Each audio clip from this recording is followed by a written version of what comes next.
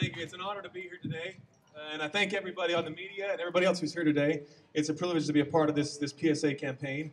When I was asked why I wanted to be a part of it, quite simply, because I don't want to get killed.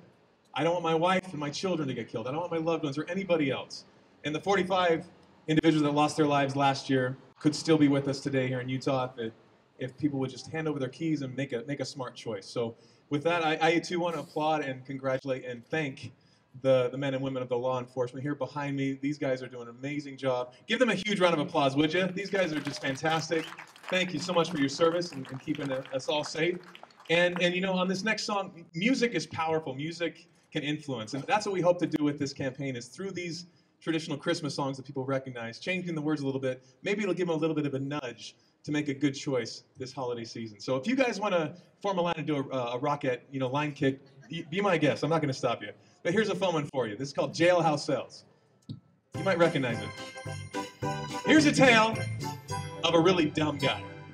So pay attention, kids.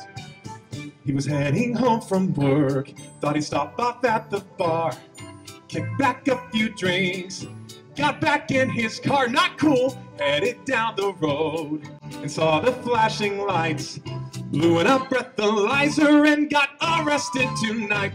Oh, jailhouse cells, jailhouse cells, in them he must stay. All because he chose to drive after drinking beers one day. Whoops, jailhouse cells, jailhouse cells, in them he must stay. All because he chose to drive after drinking beers one day. And then this is what happens to him. Check it out. They took his fingerprints, then they took his mugshot too. They towed his car away. His driving days are through. Ha!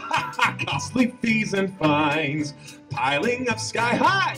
He'll never drink and drive again. This whole thing makes him cry. Jailhouse cells, jailhouse cells, in them he must stay. All because he chose to drive after drinking beers one day. So dumb. Jailhouse cells, jailhouse cells, in them he must stay. All because he chose to drive after drinking beers one